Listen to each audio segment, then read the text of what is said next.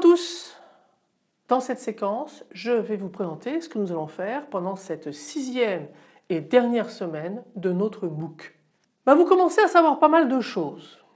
Les bases de la concurrence, les problèmes et les solutions liées au partage de données, vous connaissez les moniteurs dehors, vous avez vu l'interblocage et la famine, vous savez ce que c'est qu'un pool de thread, vous connaissez l'interface callable en Java et ce qu'elle permet de faire. Et à travers un exemple fil rouge qui a été intensivement utilisé ces deux dernières semaines, la notion de serveur multithreadé n'a plus de secret pour vous. Qu'allons-nous voir? Nous allons nous intéresser à de nouveaux mécanismes. Le premier d'entre eux, c'est le sémaphore de Dijkstra. Donc on va s'intéresser à sa définition, on va discuter de son implémentation en Java.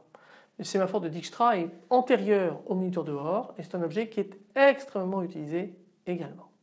Il est plus risqué quelque part, c'est plus dangereux mais il est plus élémentaire, il est plus facile à implémenter et donc vous le trouvez plus souvent. Et puis on va également s'intéresser à une autre notion qui s'appelle la barrière de synchronisation.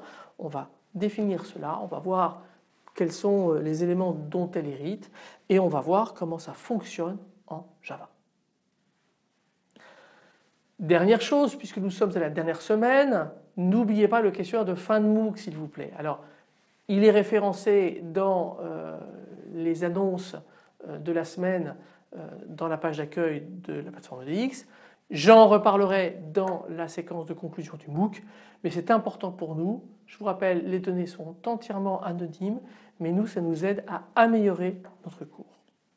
Je vous souhaite une bonne dernière semaine. Je vous remercie de votre attention. À bientôt.